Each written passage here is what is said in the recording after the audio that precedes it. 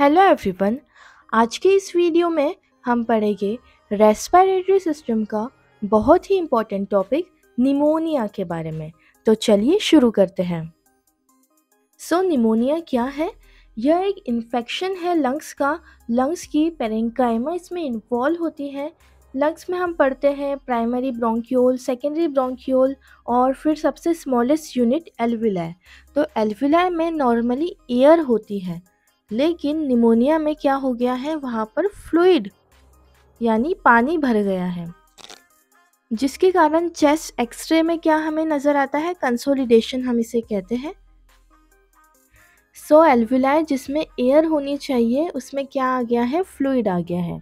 Alveoli का function आप सभी को पता है गैशियस एक्सचेंज का फ़ंक्शन होता है। सिस्टमिक सर्कुलेशन का जो डीऑक्सीजनेटेड ब्लड है मतलब जिसमें कार्बन डाइऑक्साइड है, वो प्यूरिफाई हो जाता है एल्विलाय में और एल्विलाय का जो ऑक्सीजनेटेड ब्लड है, वो फिर से कैपिलरी सर्कुलेशन में चले जाता है। तो ये नॉर्मल डिफ्यूजन की प्रोसेस होती है एल्विलाय में। So pneumonia basically lower respiratory tract का इन्फेक्शन है। ट्रेकिया के ऊपर जो भी इन्फेक्शन होते हैं, उसे हम अपर रेस्पिरेटरी ट्रैक्ट इन्फेक्शन कहते हैं। और ट्रेकिया के नीचे जो इन्फेक्शन होते हैं उसे हम लोअर रेस्पिरेटरी ट्रैक्ट इन्फेक्शन कहते हैं। सो so, निमोनिया क्या है? Infection of lower respiratory tract ठीक है? सो so, निमोनिया में क्या चीज़ इन्वॉल्व होती है। लंग्स की पेरेंकाइमा इन्वॉल्व होती है। लंग्स की पेरेंकाइमा भी किससे बनी होती है? एल्विलाय से बनी होती है। बेसिक यूनिट एल्विलाय से और एल्विलाय के बीच में जो स्पेस होता है जिसे हम इंटरस्टिशियल स्पेस कहते हैं उनमें इन्फ्लामेशन हो जाता है। सो so, निमोनिया में इन्फ्लामेशन हो रहा है एल्विलाय का ओके okay? या फिर एल्विलाय के बीच का एरिया जिसे हम इंटरस्टिशियम कहते हैं। उसमें इन्फ्लामेशन हो रहा है, उसमें फ्लूइड एक्यूमुलेट हो रहा है। सो नॉर्मली ऑक्सीजनेटेड ब्लड जो एल्फिलाय में है, क्योंकि जब हम इंस्पायर करते हैं लंग्स के अंदर ऑक्सीजनेटेड रिच ब्लड रहता है, और कैपिलरी में क्या है? C O two deoxygenated blood तो वो एल्फिला में जाते हैं। तो ये नॉर्मल प्रोसेस रहती है, लेकिन निमोनिया में इसी में क्या हो रहा है? फ्लूइड एक्यूमुलेट हो रहा है, या फिर इंटस्टिशियम एरिया में फ्लूइड एक्यूमुलेट हो रहा है, जिसके कारण डिफ्यूजन वाली प्रोसेस हैम्पर हो रही है। चलिए अब डिस्कस करते हैं रिस्क फैक्टर। निमोनिया के बारे में मैंने आप सभी लोग को बताया कि ये एक इन्फेक्शन है और इन्फेक्शन कोई भी बैक्टीरिया, वायरस, पैरासाइट से हो सकता है। तो कोई भी क्राउडेड प्लेसेस में अगर कोई इंसान रह रहा है, जैसे हॉस्टल प्रिजन्स तो ऐसे लोग जिनका इम्यून सिस्टम कॉम्प्रोमाइज है, इम्यून सिस्टम वीक है, जैसे कि जो एचआईवी से सफ़र करते हैं। ओके? या फिर एनीमिया या माल नरिश केसेस है, क्योंकि एनीमिया के केसेस में भी आपकी इम्यूनिटी बहुत ज़्यादा वीक हो जाती है। Third sickle cell anaemia sickle cell anaemia में क्या होता है? ऑटो स्प्लिनेक्टोमी हो जाती है, यानी स्प्लीन खुद ब खुद ख़त्म हो जाता है। अब स्प्लीन का फ़ंक्शन आप सभी को पता है मेजर फ़ंक्शन है इम्यून सिस्टम में, क्योंकि ये जो बैक्टीरिया है कैप्सुलेटेड बैक्टीरिया है, उसे किल करता है। लेकिन अब स्प्लीन रिमूव हो गया है तो इनकैप्सुलेटेड बैक्टीरिया के लिए बॉडी ससेप्टिबल हो जाती है, उसे मार नहीं पाती है और निमोनिया के चांसेस बढ़ जाते हैं। ओल्ड एज और इन्फेंसी यानी बहुत ज़्यादा ओल्ड एज हो या फिर न्यू बॉर्न बेबी हो, उन्हें भी चांसेस ज़्यादा रहते हैं। अब हम पढ़ेंगे बहुत ज़्यादा इंपॉर्टेंट पॉजिटिव ऑर्गेनिज़म क्या है निमोनिया के? तो निमोनिया के पॉजिटिव ऑर्गेनिज्म कोई बैक्टीरिया भी हो सकता है वायरस भी हो सकता है फंगाई भी हो सकती है और पैरासाइट भी हो सकता है। लेकिन सबसे ज़्यादा कॉमन किसका इन्फेक्शन होता है? बैक्टीरिया का इन्फेक्शन होता है। तो इसमें हमने क्लासिफाई किया है। सबसे पहला है community acquired pneumonia community acquired pneumonia यानी जो कम्युनिटी में हो, जो कि जनरली होता है, ठीक है? तो इसका कॉमनेस्ट ऑर्गेनिज्म रहता है स्ट्रेप्टोकोकस निमोनी कॉमनेस्ट पैथोजन कौन सा है? कम्युनिटी एक्वायर्ड निमोनिया के लिए सो स्ट्रेप्टोकोकस निमोनियाई सेकेंड रहता है हीमोफ्लियस इन्फ्लुएंजा थर्ड रहता है स्टेफाइलोकोकस ऑरियस फोर्थ रहता है लेज्यूनेला एंड फिफ्थ रहता है कॉक्सेला बर्नेटी सो so, इसमें से जो लास्ट टू है लेज्यूनेला और कोक्सेला बर्निटी ये ए टिपिकल निमोनिया करवाते हैं। ए टिपिकल निमोनिया क्या होता है? सबसे पहले हम समझेंगे कि टिपिकल निमोनिया क्या होता है। जनरली हमने बात करी कि एल्वुलाई में फ्लूइड भर जाता है निमोनिया के केसेस में। तो जब ये कंडीशन होती है तो इसे हम टिपिकल निमोनिया कहते हैं। ठीक है?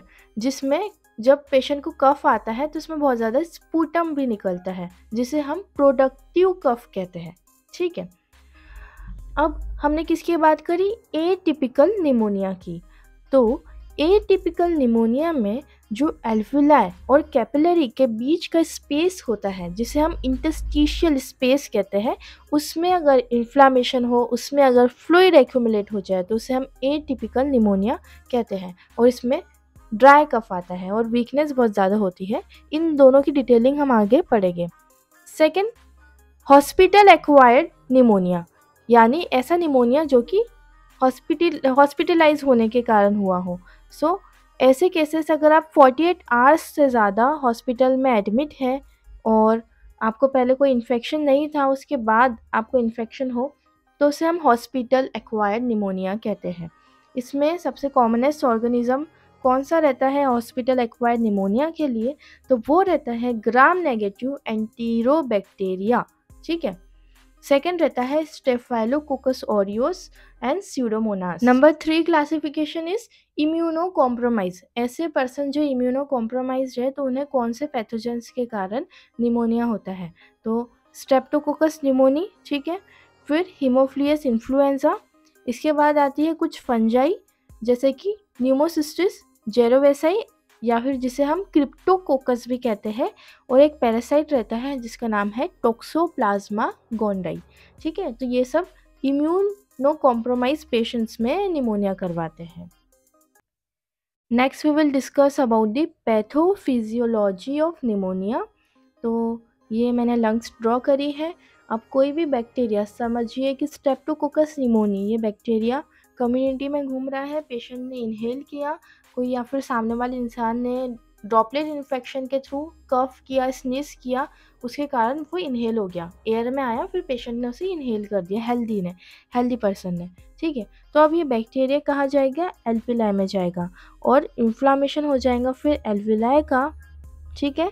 इन्फ्लामेशन होगा हिस्टामाइन और जो भी मास सेल्स मैक्रोफेजेस आएँगी इन्फ्लामेशन की प्रोसेस होगी। तो इन्फ्लामेशन के प्रोसेस के कारण क्या होगा?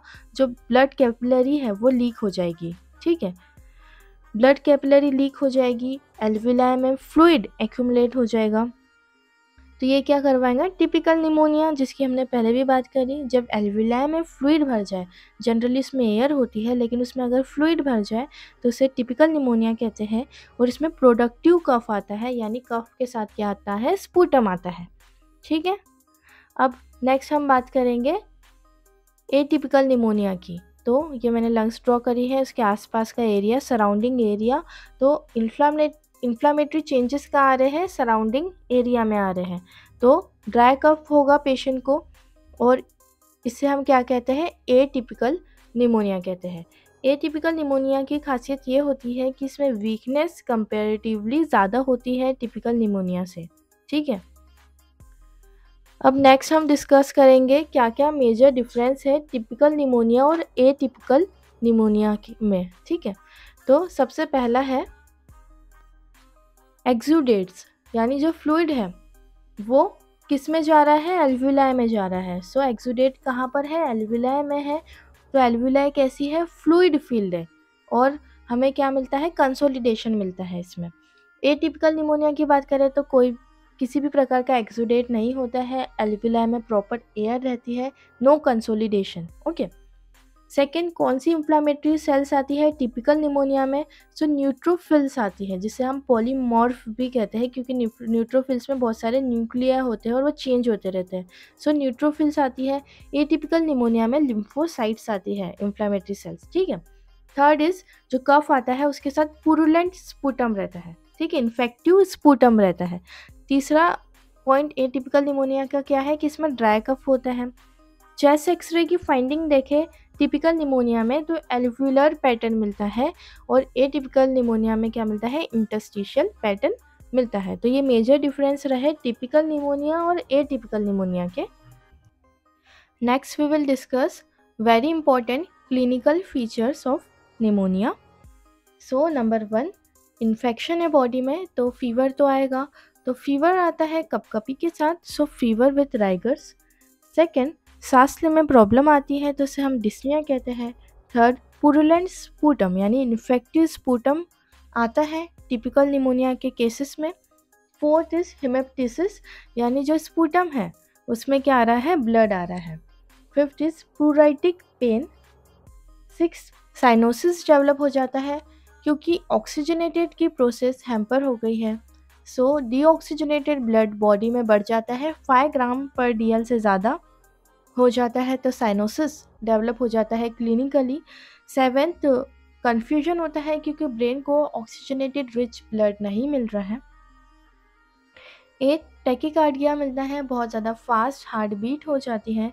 नाइन टेकिपनिया सांस भी बहुत, सांस बहुत ज़्यादा लेते हैं रेस्पिरेटरी रेट बढ़ जाता है. हाइपोटेंशन हो जाता है क्योंकि कैपिलरी लीक हो रहा है फ्लूइड कैपिलरी लीक हो रहा है इंटेस्टिशियल एरिया में फ्लूड जा रहा है, इसलिए हाइपोटेंशन हो जाता है।